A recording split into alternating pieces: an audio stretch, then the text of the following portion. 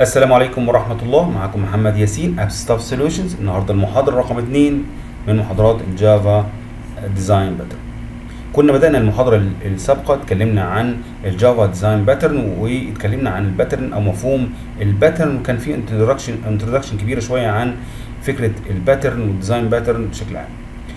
وقلنا إن ال pattern هي مجموعة من ال steps والخطوات إحنا بنستخدمها أو بنطبقها عندنا في ال application أو ال software عشان نوصل لل best practice وسبب ظهور ال pattern قلنا أو ال design pattern إن في مجموعة من ال Java expert واجهوا مشاكل كتيرة في أثناء ال implementation وأثناء تصميم البرامج والتطبيقات وال softwares المشاكل دي كان لازم يلاقوا لها حلول سواء مشاكل خاصة بال creation أو بال structuring أو بال behavior لل application بشكل عام. وبالتالي بدأوا يلاقوا حلول وبدأ الحلول دي تتطور ال development و enhancement لحد ما وصلوا لل best practice وده أحسن حل يحل المشكلة بتاعتنا. وبعدين بدأوا يعملوا documented للحلول دي. وبعدين وفرها لنا عن طريق ال Java social community وكلامنا بشكل واضح أو بتفصيل أكتر في المحاضرة اللي فاتت. واتكلمنا عشان نفهم ال structure أو الحل كان لازم يكون عندنا tools أو أداة تسهل لنا فهم العلاقة بين ال software objects أو ال classes الموجوده عندنا. فبالتالي عشان نتكلم بشكل نظري أو حتى بشكل coding كده ممكن يكون الموضوع معقد جدا. فكان الأسهل إن إحنا نعمل visualize لل code أو لل software objects عندي. فاستخدمنا حاجة اسمها ال UML أو ال unified modeling language ممتاز جدا.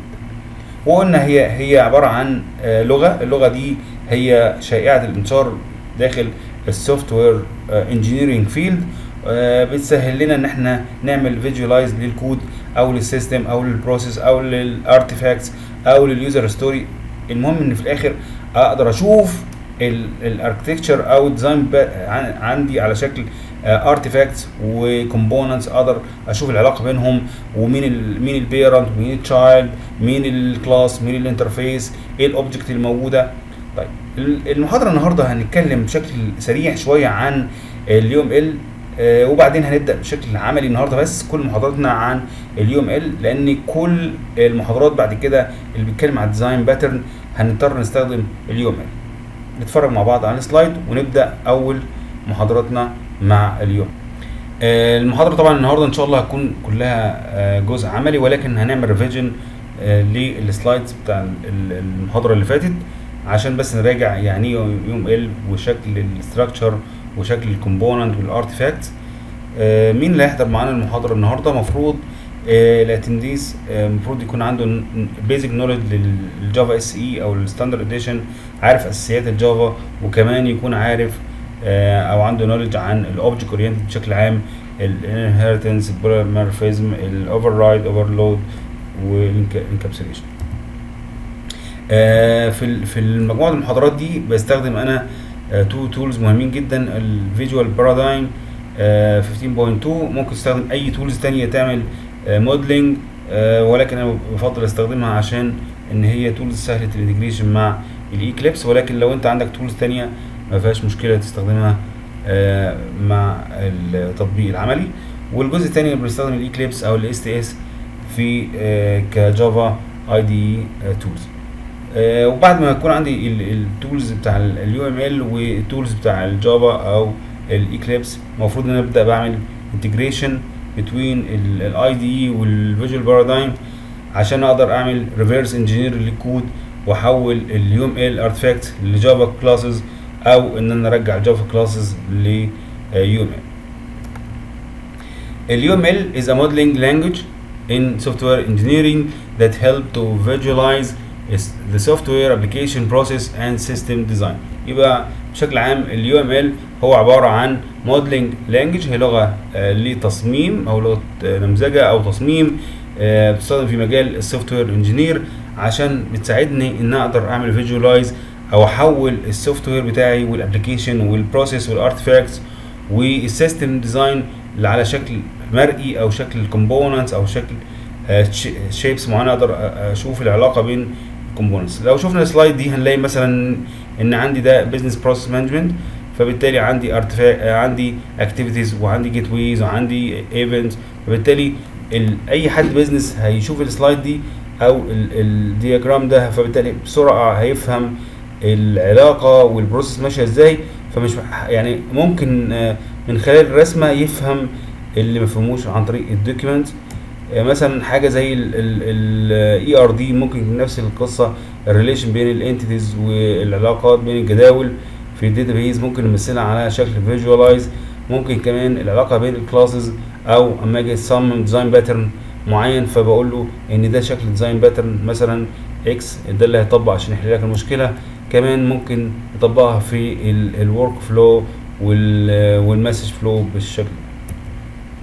في المحاضرة اللي فاتت بشكل عام إحنا اتكلمنا عن ال UML واتكلمنا عن ال class design pattern أو class pattern آه وقلنا ده شكل ال access modifiers وده شكل ال class وطبعا يفضل نراجع المحاضرة السابقة عشان مش هنعيد الكلام مرة تانية ولكن بن revision كده إن ده شكل ال class وإن ال class بيتكون من ثلاث أجزاء اسم الكلاس والاتريبيوت والاتريبيوت والاوبريشنز وقلنا العلاقة قد تكون علاقة generalization يعني علاقة inheritance إن الأب آه أو الابن وارث من الأب وده ال super class وده ال sub class وقلنا كمان العلاقة ال interface بنسميها realization realization بتتمثل بشكل ال dots arrow بالشكل ده وبيتكتب على ال interface من فوق كلمة interface وقلنا لو في exception بيطلع بالشكل ده ب throw exception بالمنظر ده.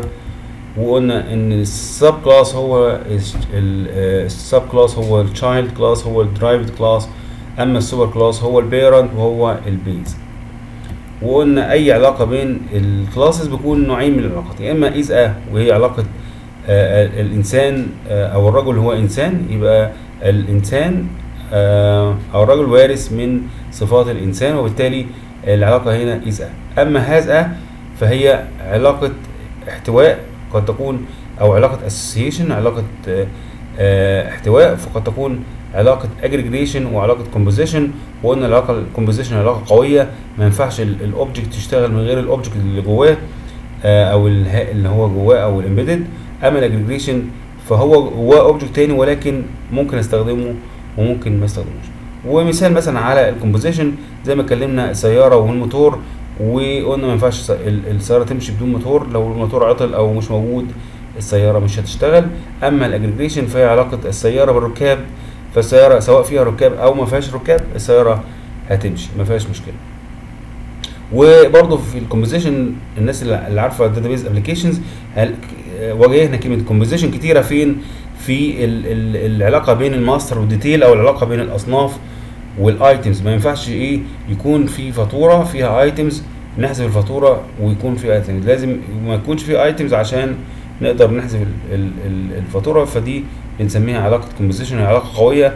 ما ينفعش آه يكون ال يكون ال object آه في has another object وال another object ده ما نعملوش initialization أو ما نستخدموش مش هيشتغل معانا. وقلنا في ثلاث علاقات بين أي class في ال في ال في ال application عندنا في ال association واللي هي العلاقة العادية اللي علاقة الربط بين two object وقلنا في الاجريجيشن وهي العلاقة الضعيفة زي إيه؟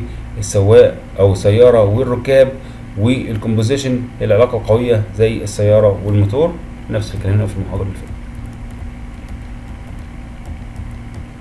طيب تعال ناخد بقى الكلام ده كله بشكل عملي. عندنا أول tools هنتعرف عليها اللي هو ال Eclipse ال Eclipse طبعا هو IDE عادي جدا عشان نقدر نكتب فيه ال Java application نستخدم Eclipse STS NetBeans مش تفرق بالنسبة لنا. المهم في tools تكتب فيها Java applications وعندنا ال tool الثانية اللي هي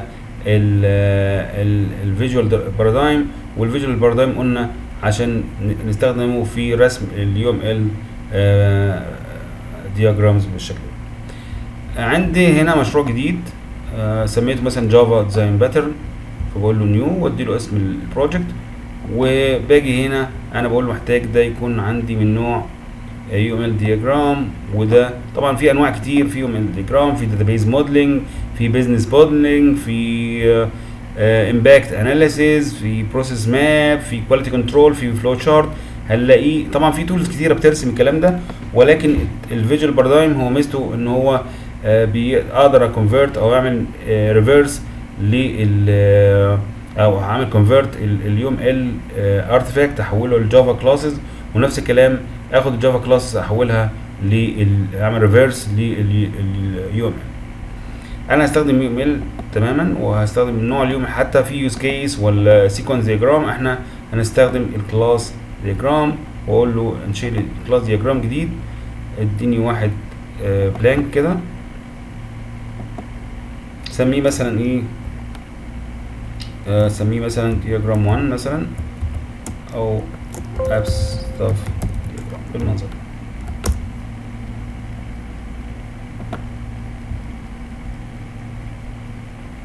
فتح لي ال diagram بتاعي بالمنظر ده. فاضي. هديله default package مثلا إيه؟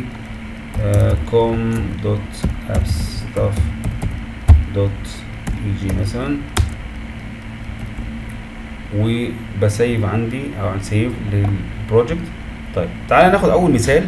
إحنا بس كل استخدامنا النهارده بس تعريف الايه ال UML design تعالى أول حاجة نجرب ناخد interface وال interface ده هنسميه my basic interface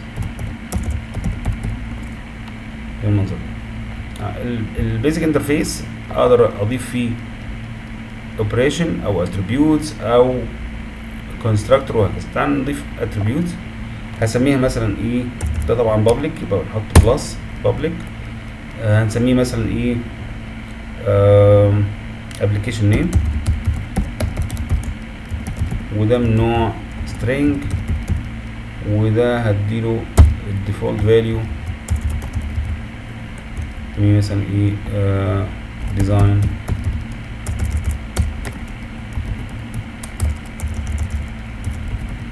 design pattern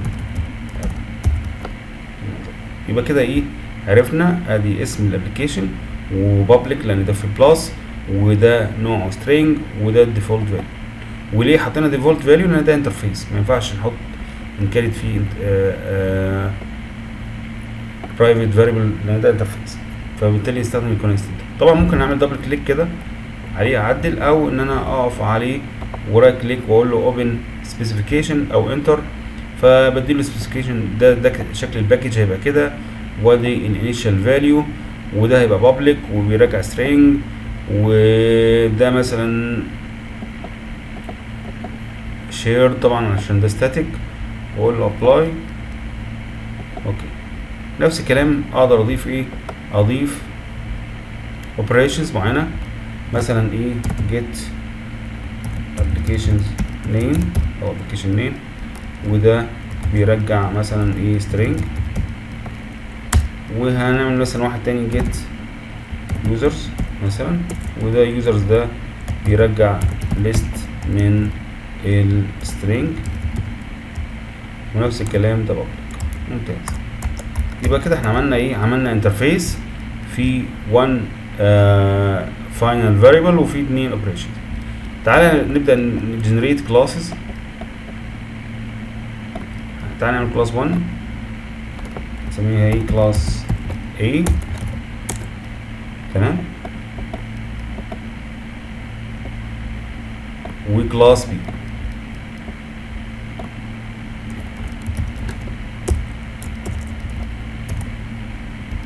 طيب ال class A و class B الاتنين دول مالهم هيكونوا implemented ل اعملوا implementation لل interface ده. فعشان نعمل interface في عندي نوعين من ال relation أو ال dependency في حاجة اسمها ال generalization وفي حاجة اسمها realization قلنا ال generalization ده في علاقة ال inheritance أو علاقة الوراثة أو في حالة ال extend أما في حالة حاله ال implementation أو استخدام ال interface بستخدم realization فبقول له خلي بالك إن ال class ده realized أو واخد من من ال interface ده ونفس الكلام ال class ده واخد من ال interface طبعا في طريقة تانية إن أنا إيه باجي نفس الكلام كده باجي هنا وأقول له خلي بالك إن ده في relation مع ده. أو العكس. أو ان ال class ده عمل implementation لل interface. دي أكتر من طريقة. بعد ما عملت save مجرد ما أجي على ال class ده وأجي أقول له related elements وأقول له realize all interfaces راح عمل implementation. ونفس الكلام هنا المفروض إن هو related elements وأقول له realize all interfaces فايه راح عمل لي implementation. لحد هنا تمام جدا. كده إحنا إيه ما كتبناش سطر كود لحد دلوقتي. إحنا كل القصة بنعمل design شكل ال class هيبقى عامل إزاي ومين اللي هيحصل implementation وهكذا. تعالى بقى ندخل على ال tools ونقول له كود وأقول له generate الكلام ده كله. في عندي generate code وفي عندي reverse code generate code يعني بحول أو Java code بحول الشكل ده ل Java code و reverse برجع ال ال لو في تعديل في ال Java code برجعه. تعال ن generate بيقول لي ال project بتاعك إيه؟ هسميه مثلا هنسميه ناخد مثلا هنا.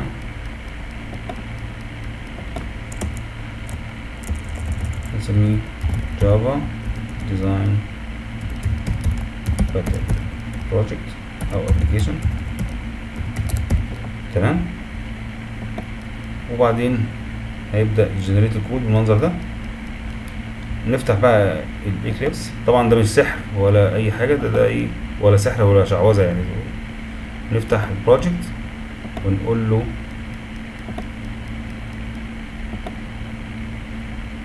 في ال Java هنلاقي هنا Java design pattern أهو ال application اتفتح لوحده open وكده. طبعا أكيد في حاجة ضربت معانا نشوف إيه المشكلة. أدي ال class الأولاني. آه هنا مش عارف يعني ال list فنعمل import بس ال list نسينا نحطها هناك. فبقول له ده list Java util list عادية. نفس الكلام. وهنا Java util list عادية. وده Java util list إيه اللي حصل؟ نسيب. شايفين؟ ما كتبناش سطر كود واحد. انشا لي ال interface قال لي interface string طبعا ده default ده public final static طالما ده interface فسواء كتبتها كده public static final string كذا هي نفسها مفيش تفرق بالنسبة لنا. وعندي two operations واحدة اسمها get الـ application وواحدة اسمها get الـ users ودي بترجع string ودي بترجع list of string التانية عندي اتنين كلاس class A و class B. الاتنين عملوا implementation لل interface ده وطبقوا الايه ال interface. تعال نيجي هنا في ال في ال مثلا في class A. تعال نعمل method جديدة اسمها public uh, string uh, get class info مثلا أي حاجة. ونقول ده بي return برضو إيه؟ string. بس طبعا هنا بياخد parameter من نوع string.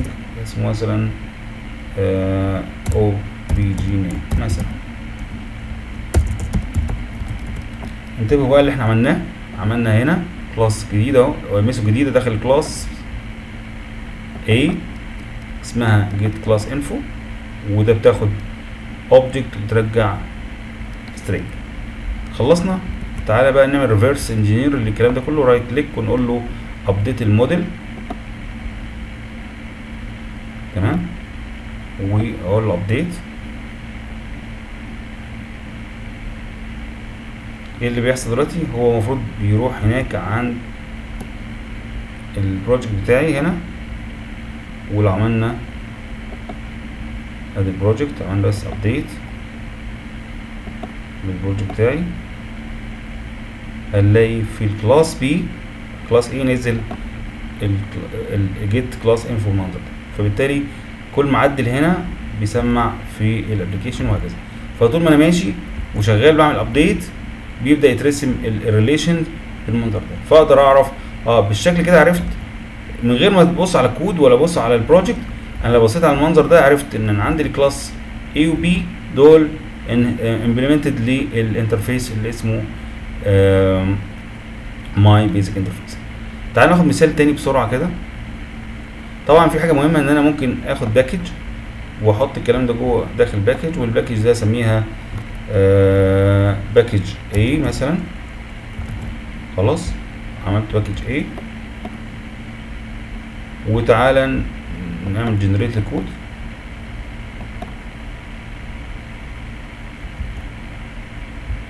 ونعمل طبعا refresh بس تأكد إن هي تمام. هنلاقي إن package A اتعملت فعلا واتنقل الكلام ده كله تحتيها بالمنظر. ده بقى عندي package A نزل منها ال ال بالمنظر ده. ادي اسم ال package A. تعال ناخد مثال تاني هنا ناخد على جنب ونعمل package جديدة. هنا ونسميها package B. و package B دي مهمة قوي. دلوقتي إحنا إيه أظن الدنيا بدأت تبقى واضحة شوية بالنسبة لنا صح؟ عرفنا ده شكل ال interface وعملنا في شكل ال operation وال attributes اللي عاوزها وعملت class ال classes دول عملوا implementation للكلام ده. تعال نعمل هنا نقول هناخد class مثلا جديد هنا ونسميه base base class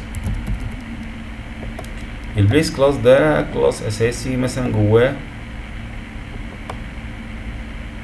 هو مثلا operation اسمها get أو بلاش get نقول مثلا هنا قبل ال operation هنعمل هنا attribute هنسميها ال ID وده private وده integer وعندي كمان ال name وده string.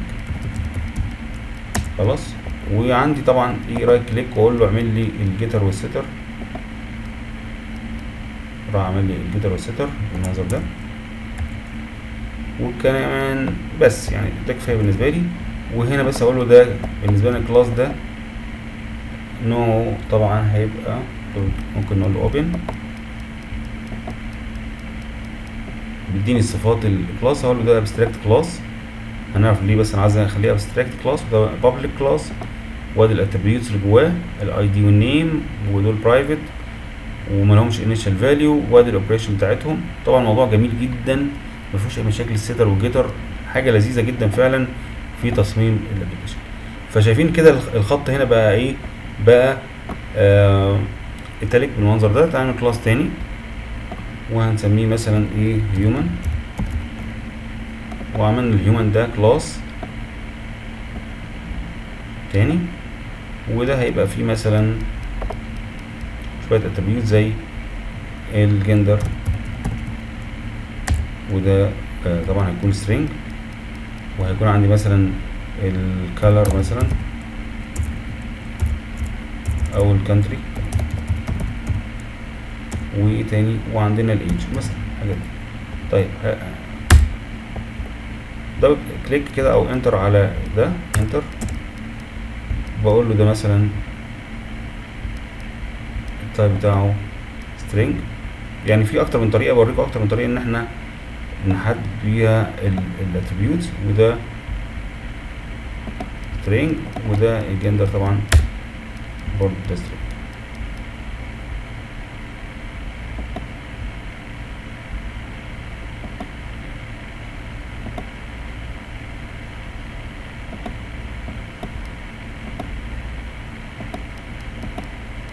ونفس الكلام ممكن أعمل generate ال getter وال setter بالمنظر طب لحد هنا خلصنا؟ لا لسه مخلصناش أنا ممكن بقى إيه نيجي هنا علاقة إيه؟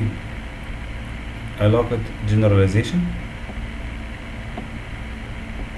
فبفتح هنا أقول له العلاقة دي بينهم علاقة generalization وليس علاقة. أقول له إن ده وارث من ده. فالشكل كده ال solid arrow زي كده ده معناه علاقة extend تعال نعمل save ونقول له generate ال code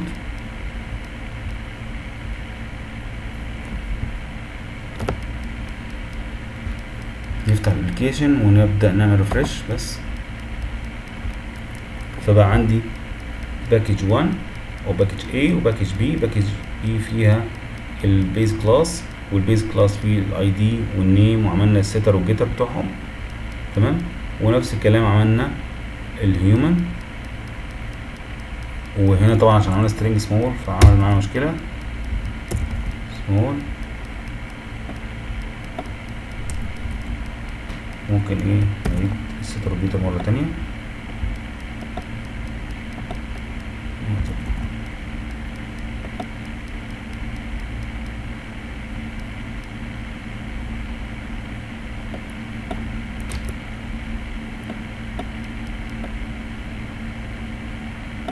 شايفين إحنا صلحنا الكود هنا صح؟ تعال نعمل generate برضو.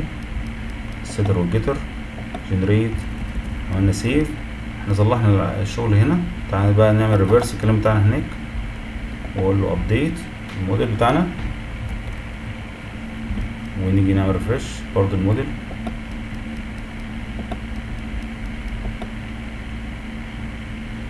راح عمل لي المنظر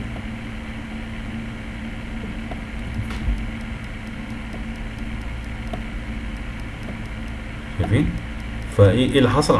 حصل reflection أقدر أعمل reverse engineer لل code بتاعي من ال Java ل UML وأقدر أ generate من ال UML لل Java class. طبعا ده ده قلنا realization وده generalization وممكن طبعا استخدم ال association ممكن نستخدم كمان ال composition لو فتحنا كده هنلاقي عندي اجريجيشن وعندي composition اهم ودي علاماتهم زي ما شفنا علامه المعين الأبيض والأسود.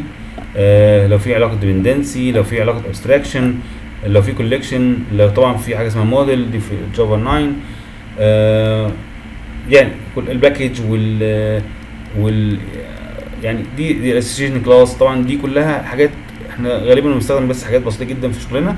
و أظن النهارده كده فهمنا جدا يعني إيه UML عرفنا نعمل represent لل interface وال class بالمنظر ده. نفس الكلام طبعا هنا في حتة مهمة إن أنا ممكن أعمل كمان realization between ال interface ده وال class ده. يعني تعال نقول كده.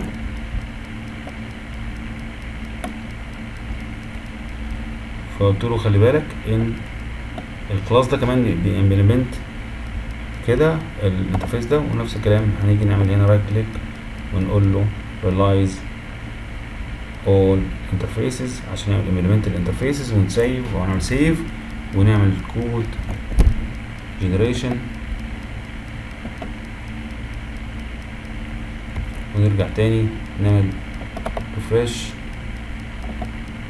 هنلاقي إن في class B ال Human لو طلعنا فوق هنلاقي حصل implementation لل interface بتاعتي. ونزل لي ال operation أو ال methods اللي إحنا طبقناها. إن شاء الله تكونوا استفدتوا بالمحاضره بتاع النهارده. كده إن شاء الله تكونوا جاهزين بإذن الله. لو أنت قريت من هنا المحاضرة الجاية شوية معلومات كده عن ال association عن ال UML إن شاء الله المحاضرة الجاية هتكون بالنسبة لك أسهل. آه أي سؤال أي استفسار تابعونا على اليوتيوب وعلى ال Facebook account وعلى LinkedIn account والسلام عليكم ورحمة الله وبركاته.